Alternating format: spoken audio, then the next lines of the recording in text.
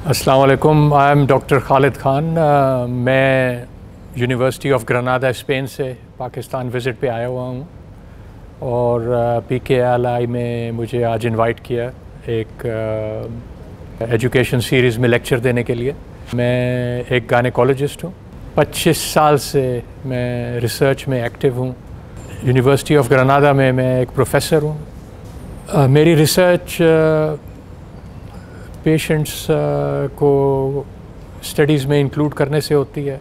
Clinical trial करता हूँ और मेटा एनालिसिस करता हूँ। मैंने एक किताब भी लिखी है जो कि मेटा एनालिसिस के बारे में है।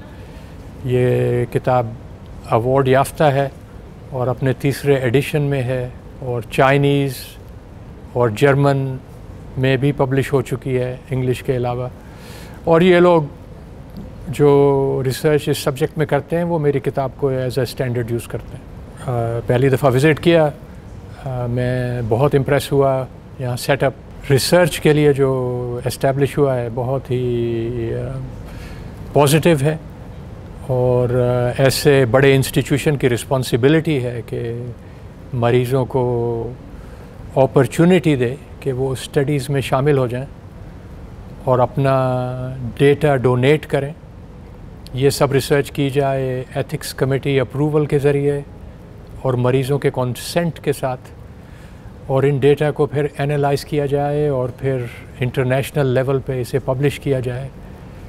जिस किस्म के मरीज़ इस इंस्टीट्यूशन में आते हैं, ये तो एक किस्म की यूनिक लोकेशन है। दुनिया के कई मुल्कों में इस किस्म की एलमेंट्स या कंडीशंस देखने को ही नहीं मिलती या पूरी ज़िंदगी में कोई स्पेशलिस्ट एक या दो मरतबा ऐसी चीज़ देखता है जो जहाँ महीने में कई दफ़ा देख ली जाती है।